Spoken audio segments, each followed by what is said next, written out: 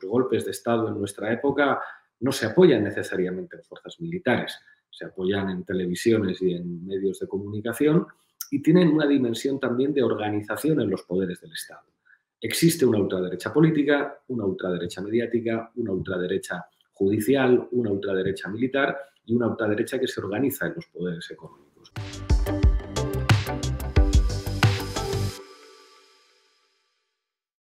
Eh, bienvenidos nuevamente al ciclo de diálogos. Hoy es un gusto tener un diálogo con Pablo Iglesias, que como todas y todos saben, es cofundador y ex secretario general de Podemos, ex vicepresidente segundo y ministro de Derechos Sociales y Agenda 2030 del Gobierno de España entre 2020 y 2021, profesor asociado de Ciencia Política en la Complutense de Madrid y integra el Instituto República y Democracia, una fundación comprometida con el pensamiento crítico y conduce el programa de Radio La Base y es director del canal Red en YouTube.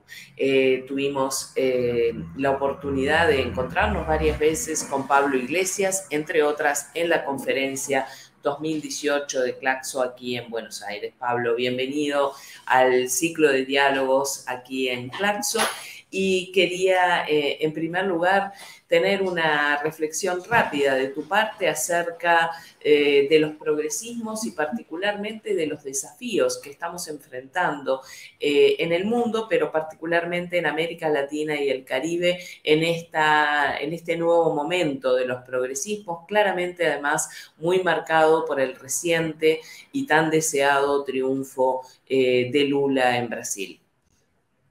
Un placer estar con ustedes, Karina, un placer y un honor. Bueno, América Latina lleva siendo desde hace algunas décadas la reserva intelectual e ideológica de la izquierda a nivel mundial.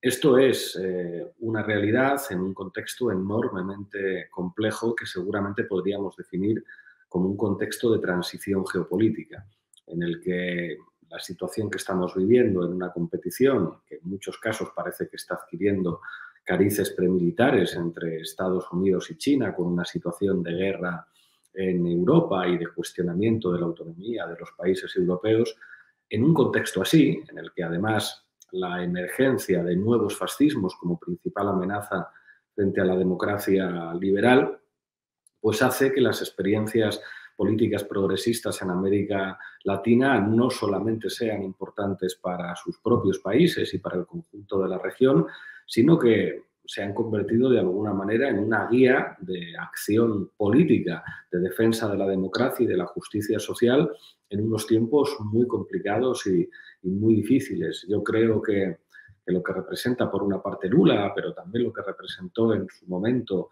la victoria de Petro en Colombia o la victoria de Boric en, en Chile o lo que sigue representando Argentina y está representando México con Andrés Manuel o, que Bolivia fueran capaces de darle la vuelta a un golpe de Estado, digamos que también estamos asistiendo a procesos de gestión política desde el Estado que van a ser determinantes para imaginar las posibilidades de una política emancipatoria y de izquierdas en, todo el mundo.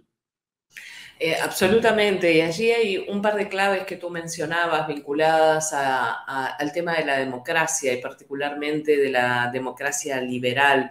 Eh, ¿Cuáles son, desde tu punto de vista, los principales desafíos a las democracias en nuestra región latinoamericana, pero también allí en Europa, ¿verdad? En España y en otros países eh, del continente europeo. ¿Cuáles son eh, esos desafíos y particularmente, eh, dado que además es uno de los temas sobre los que más has escrito y más has reflexionado, estos fenómenos asociados a la desinformación, a las noticias falsas, las fake news, ¿verdad? en su vínculo con eh, la democracia. Y si le agregamos además eh, todo el tema no solo de los medios, sino eh, de la relación con la justicia en las lógicas de lo que se conoce como el lawfare, ¿cómo, ¿cómo, interpretás ese, vínculo en estos momentos? sobre todo desde esa perspectiva perdón, de desafíos a la democracia. El principal adversario político de la democracia liberal, ni siquiera diríamos de la izquierda, del socialismo, de la democracia liberal, es la ultraderecha. Una ultraderecha que tiene manifestaciones en muchos países, en países de América, empezando por Estados Unidos, pasando por Brasil, con Argentina, con Milei, etcétera, etcétera, etcétera, y en Europa. En Europa, de hecho, gobiernan. no solamente gobiernan en Hungría o en Polonia, gobiernan en Italia. La coalición gobernante en Italia es una coalición de fuerzas políticas históricamente aliadas con Putin y, con el gobierno ruso, una de las cuales, la mayoritaria, son los herederos directos del Partido Fascista Italiano, del Movimiento Social Italiano, de Alleanza Nazionale, que ahora se llaman Fratelli d'Italia con, con Giorgia Meloni. Mucho mejor recibidos, además, por las instituciones europeas de respecto a, cómo fue recibida Sirisa y, y Alexis Tsipras cuando ganó las elecciones en Grecia. Pero cometeríamos un error si pensáramos que la ultraderecha es un fenómeno exclusivamente partidario o político partidario. Como, como vos señalabas muy bien, la ultraderecha tiene una dimensión mediática, los poderes mediáticos son el actor ideológico más importante en nuestra época. De hecho, los golpes de Estado en nuestra época no se apoyan necesariamente en fuerzas militares, se apoyan en televisiones y en medios de comunicación y tienen una dimensión también de organización en los poderes del Estado. Existe una ultraderecha política, una ultraderecha mediática, una ultraderecha judicial, una ultraderecha militar y una ultraderecha que se organiza en los poderes económicos. Y están creciendo y de alguna forma se han convertido en alternativa de gobierno en muchísimos países del mundo y en algunos países han gobernado o están gobernando, como Estados Unidos, como Brasil o como Italia en estos momentos y en España podrían gobernar muy pronto. Hay muchas encuestas que señalan que podría haber un gobierno del Partido Popular con Vox.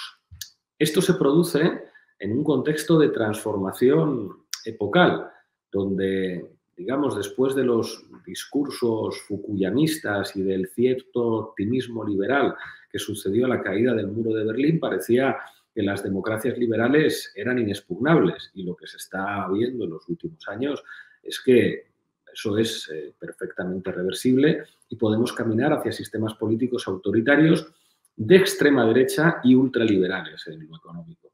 Es algo enormemente peligroso y, de nuevo, se plantean diferentes tareas. La tarea mediática, que es algo que, por desgracia, yo creo que ha sido históricamente olvidado por la izquierda, pensar que sin poder mediático se pueden transformar las cosas o que basta el poder político para transformar las cosas sin que vaya acompañado del poder mediático. La pelea por los relatos, la pelea por la comunicación es el principal terreno de batalla ideológica y la batalla ideológica es el, terreno principal de, combate político. Y por otra parte, al mismo tiempo, las experiencias de empoderamiento que se están dando en América Latina tienen que ser eh, una referencia también de cómo se combate el fascismo. ¿Y cómo se lo combate, Pablo? Porque esa es una de las, eh, digamos, de las claves que también estamos leyendo aquí desde América Latina en términos, por ejemplo, de los procesos de movilización, que como tú bien decías eh, al comienzo de este diálogo, eh, estuvieron, si no en el origen, por lo menos en un punto muy marcado, eh, claramente de los triunfos electorales de Petro en Colombia, de Boric en Chile, también por supuesto en el caso de Lula y ya especialmente en los episodios eh, previos este, a la asunción de Lula, donde hasta se ponía en cuestión eh, ese triunfo electoral. Eh, esa es una de las claves que me parece que tenemos que, reflexionar, quizás con, con mayor profundidad y especialmente pensando desde los sectores progresistas cuáles son las respuestas que podemos dar y cuáles son las claves de acción. ¿Están allí en la calle? o hay que pensar en otras eh, alternativas? O sea, lo fundamental es entender que los paradigmas de comunicación han cambiado.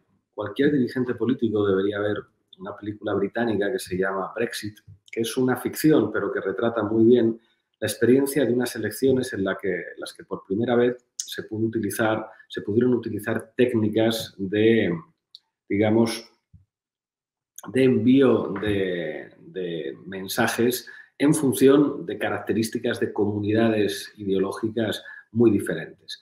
El famoso Big Data, la oportunidad que da la tecnología de diseñar eh, mensajes políticos a partir de algoritmos que permiten decir prácticamente a cada eh, ciudadano que forma parte de una comunidad concreta una cosa diferente, redefine las técnicas de comunicación política.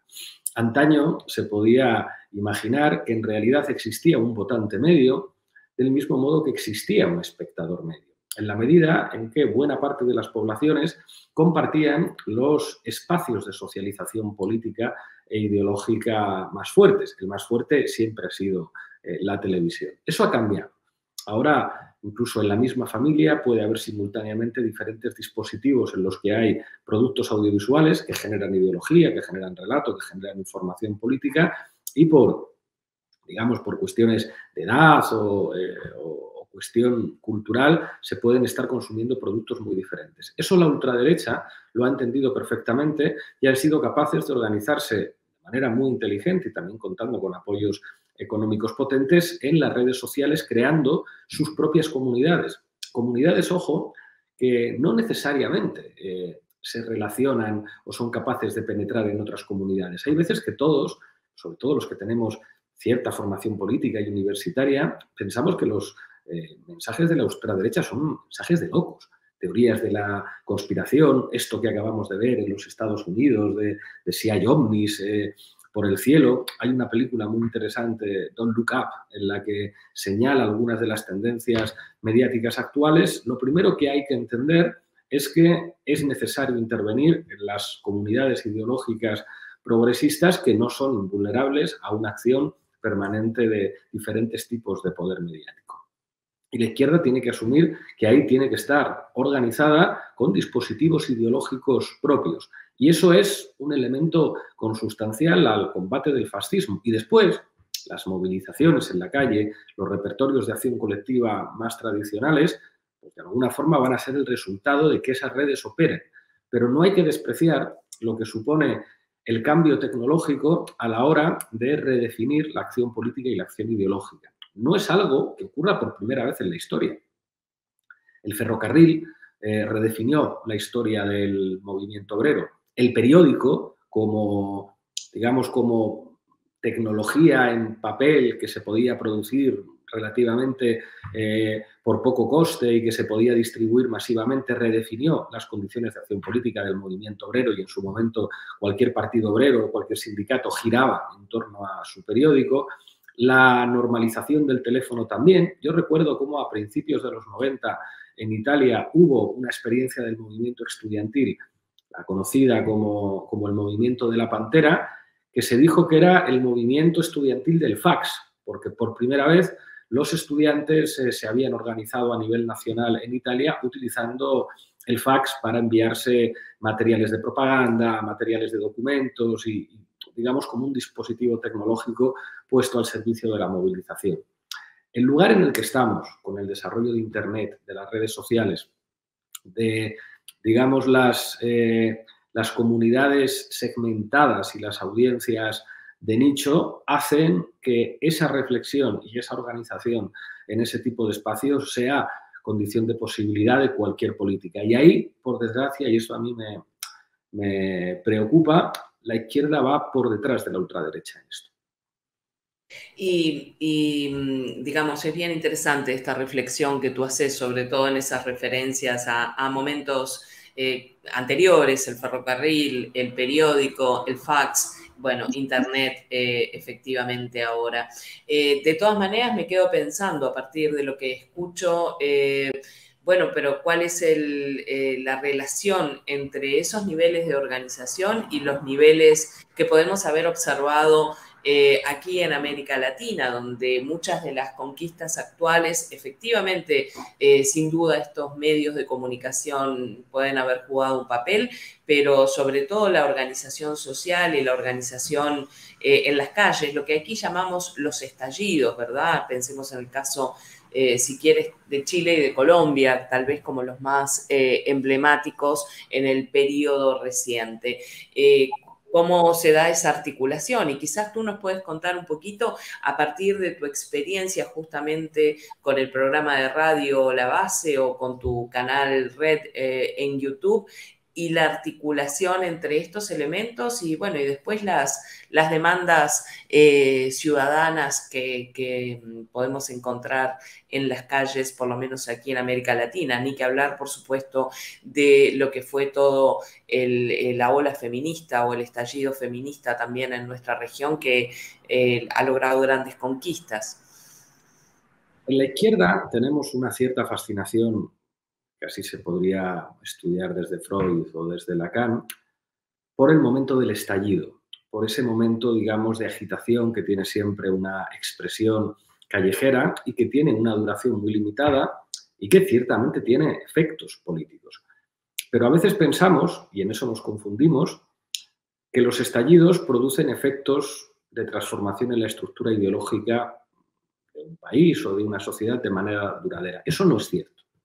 El estallido social en Chile fue condición de posibilidad de la victoria electoral de Boric y probablemente también de que se eligiera una asamblea constituyente llamada a redactar una nueva constitución que sustituyera la de Pinochet como salida institucional a ese estallido social. El problema es que el referéndum los ganaron los medios de comunicación. Pensar que el estado de ánimo que deriva de un estallido social puede tener efectos duraderos es uno de los grandes errores históricos de la izquierda. El estallido social puede cambiar unas elecciones. Todo ocurrió con Podemos. Podemos surge en un momento muy concreto, el 15M podía haber cambiado algunas cosas, tuvimos resultados electorales muy buenos incluso en las encuestas llegamos a aparecer muy por arriba, pero no hay una fuerza política que pueda resistir la acción concertada de las principales televisiones, los principales periódicos y, los las principales radios que trabajan día a día, que pueden verse sobrepasados por un estallido social durante semanas o durante meses, pero que después son los intérpretes de lo que ha ocurrido. La, la manera en la que nosotros conocemos la historia de nuestros países, ni siquiera en los académicos que leemos mucho, no es una experiencia personal, es una experiencia mediada permanentemente por dispositivos ideológicos de, comunicación.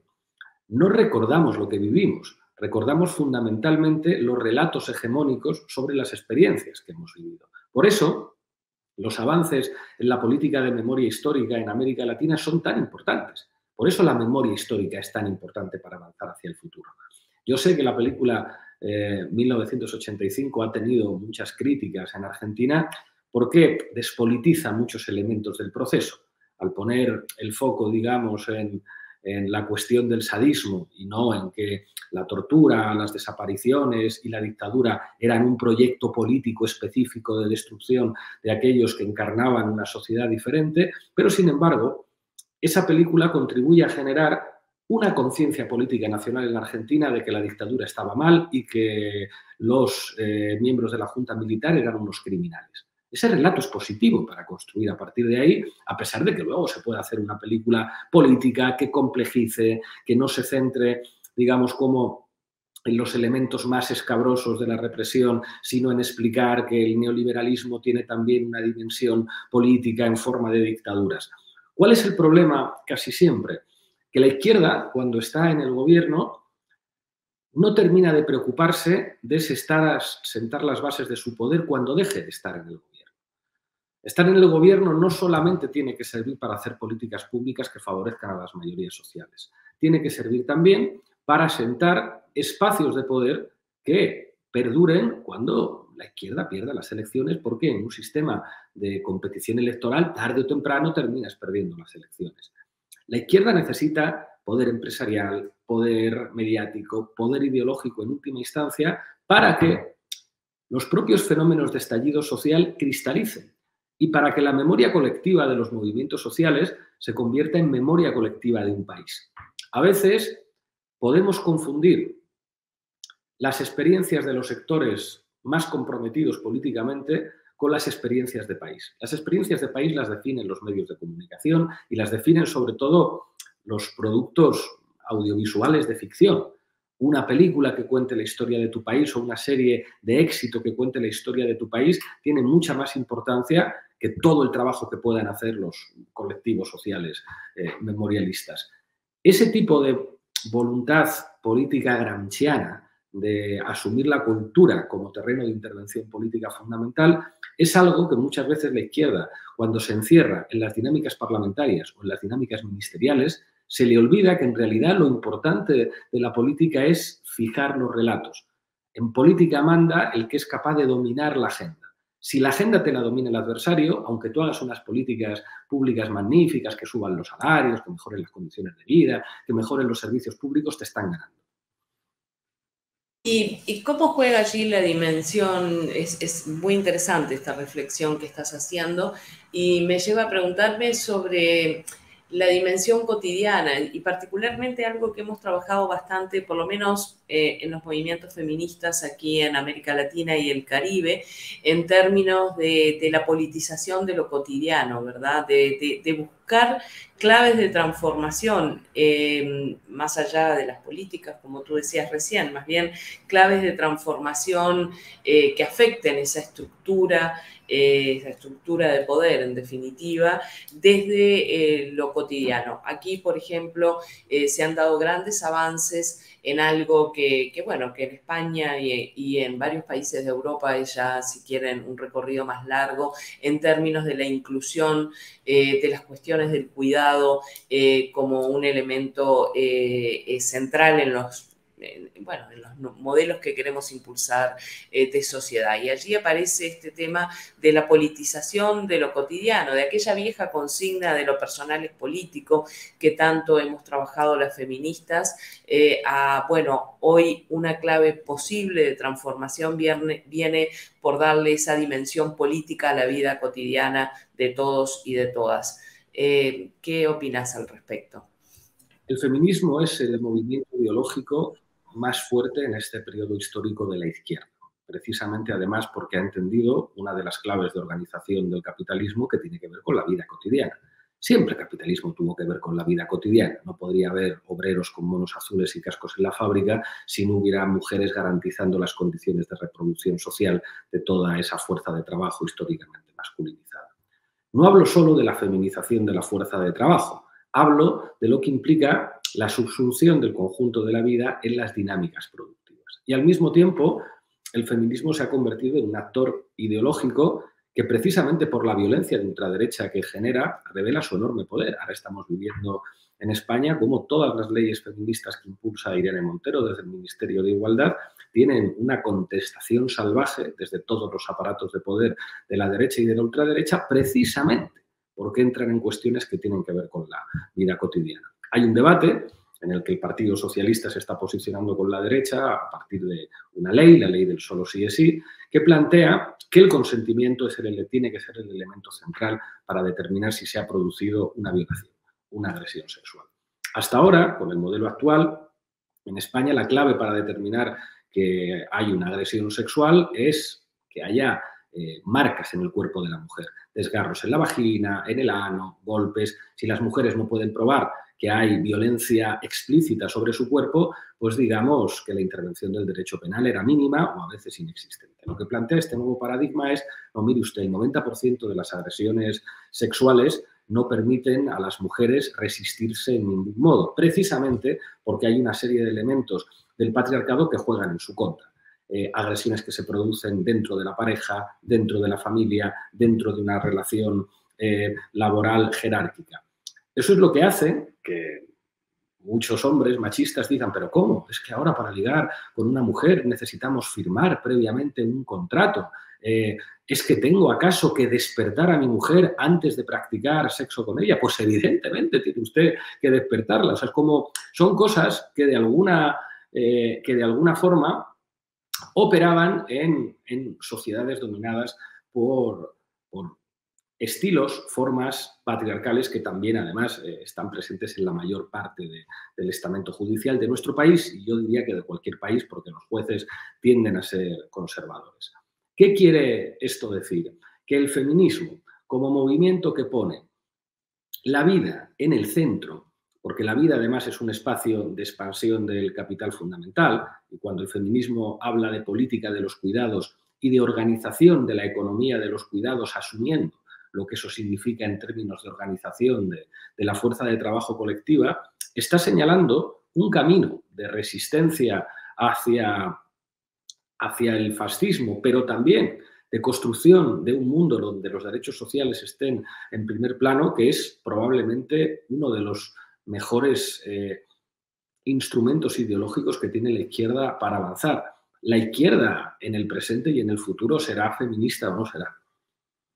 Estamos completamente de acuerdo, sin duda, Pablo, y, en esa clave de, la politización de, lo cotidiano. Por último, es porque se nos está agotando el tiempo, pero no quiero despedirme sin pedirte una breve reflexión sobre el momento actual geopolítico eh, en Europa a partir de lo que es el conflicto Rusia-Ucrania. Eh, Sé que es un tema muy extenso, pero aunque sea tener una breve reflexión tuya de las consecuencias eh, eh, desde el punto de vista geopolítico.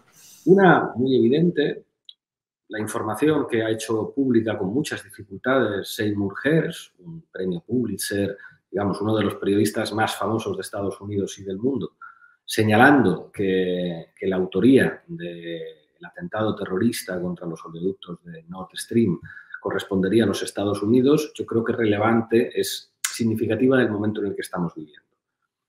Parece bastante probable que, la autoría de los Estados Unidos sea una realidad.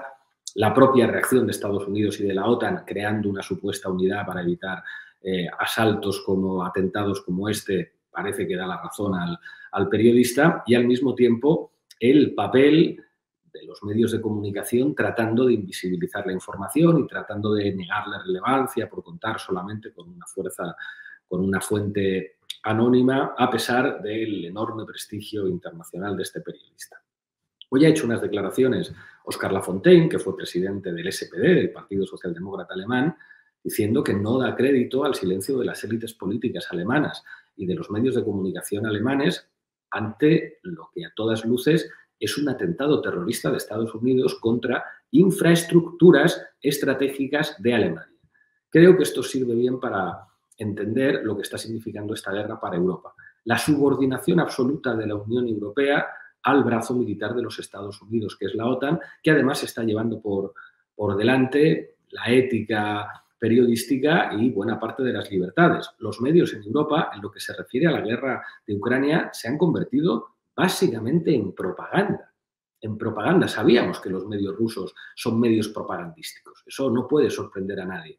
Pero es que buena parte de los prestigiosos, entre comillas, medios europeos, en lo que se refiere a este asunto, se han convertido en medios de propaganda que miran para otro lado ante todas las evidencias que señalan que Estados Unidos pudo hacer un atentado contra infraestructuras estratégicas alemanas que condenan a los alemanes y a buena parte de los europeos al frío o a tener que comprarle gas mucho más caro a los Estados Unidos.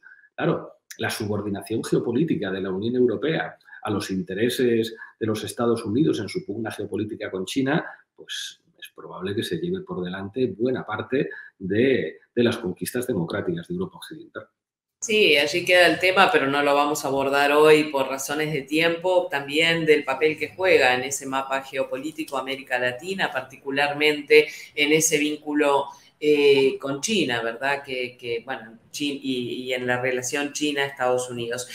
Eh, yo te agradezco muchísimo, Pablo, esta oportunidad de haber eh, dialogado hoy en este ciclo de diálogos que tenemos aquí en Claxo y ojalá logremos potenciar eh, nuestras herramientas de comunicación, porque también estamos trabajando en esta, en esta dirección que tú eh, mostrabas de la importancia de los medios de comunicación, bueno, por Internet en sentido eh, general. Ojalá logremos potenciarnos mutuamente con las Claxo TV, Claxo Radio, nuestros programas de aquí, con tus canales que tanto impacto están teniendo, tanto a nivel de, de la radio como del canal de YouTube. Queda hecha la invitación y una vez más, eh, te agradezco la posibilidad de haber dialogado hoy contigo y, muchas gracias a todos y todas quienes eh, han seguido esta transmisión.